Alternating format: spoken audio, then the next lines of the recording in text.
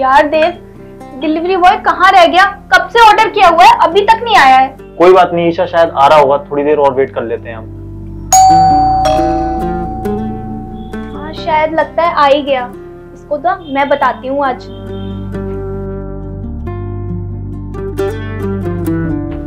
Ma'am जी आपका order मैंने पिछले एक घंटे से ऑर्डर किया हुआ है और तुम अब आ रहे हो। तुम्हें पता नहीं है कि नवरात्रि चल रही है। हमें व्रत भी खोलना होता है। वो मैडम क्या है ना रास्ते में ट्रैफ़िक जाम बहुत हो रहा था। इस वजह से भी लेट हो गया। वरना मैं हमेशा अपनी सारी डिलीवरी टाइम पर कर देता हूँ। इस बार लेट हो गया। प्लीज़ मुझे माफ़ कर दो। सुनो ज़्यादा बकवास करने की ना ज़रूरत नहीं है। वो सब मेरी प्रॉब्लम नहीं है। तुम्हारा ये काम है टाइम से डिलीवर करना और तुम इतनी लेट आ रहे हो और तुम्हें मैं किस बात के पैसे दूँ अब? मैम आप ये कैसी बात कर रही हो? अगर आप पैसे नहीं दोगे ना तो मुझे कंपनी में अपनी सैलरी से पैसे कटवाने पड़ेंगे। और ऐसा तो मेरा नुकसान हो जाएगा। मुझे कट पीट के दस पंद्रह हज़ार तो मिलते ही हैं। उसमें भी अगर कुछ पैसे कट जाएँगे तो कैसे मैनेज करूँगा? मुझे माफ़ कर दो। मैम मैं आगे से ऐसा नहीं करूँगा। बस थोड़ा सा ट्रैफ़िक जाम था। इस वजह से ऐसा हुआ, वरना कभी नहीं होता ऐसा। प्लीज़ मैम मुझे माफ़ कर दो। मैंने बोला ना तुमसे, वो सब मेरी प्रॉब्लम नहीं है, मेरी दिक्कत नहीं है। तुम्हारी सैलरी कटे या फिर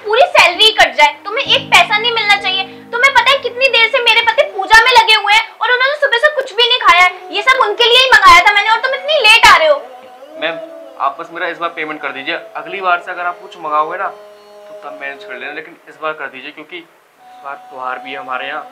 प्लीज़ मैम क्या बोला तूने? पेमेंट मैं तुझे एक रुपया नहीं देने वाली हूँ और कंप्लेन तेरी अलग से करूँगी समझा तू? हेलो हाँ अभी तो मैंने कुछ खाया नहीं है। शाम को जब घर आऊँगा तभी रोज़ा खोल पाऊँगा। अभी तो पॉसिबल नहीं है। हाँ अब लग रही है भूख, लेकिन अभी काफ़ी सारी डिलीवरी रह गई है। और मौका ही नहीं मिल रहा कि मैं इफ्तार खोल सकूँ। अब रात को ही हुआ चूज़ कर पाऊँगा। अभी मैं रखता हूँ डिलीवरी कर रहा हूँ, ठीक है? मैं, मुझे और भी जगह डिलीवरी करने जानी है।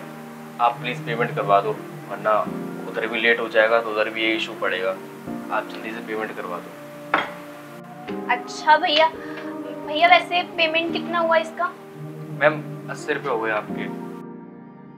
अच्छा भैया मैं आपको पेमेंट कर देती हूँ।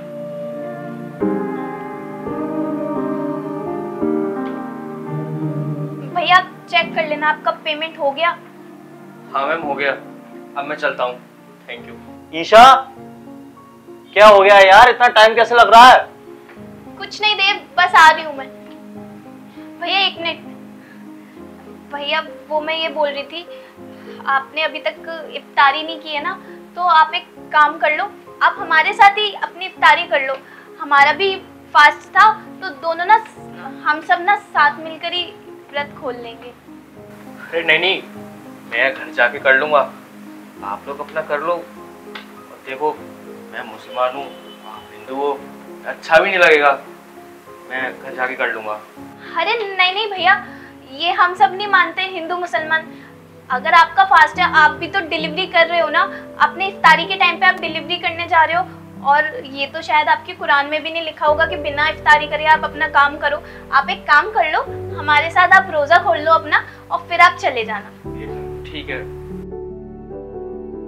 देव मुझे ना भैया को समझने में गलती हो गई थी। आज इनका भी रोजा था तो आज ही हमारे साथ इफ्तारी करेंगे। लीजिए भैया।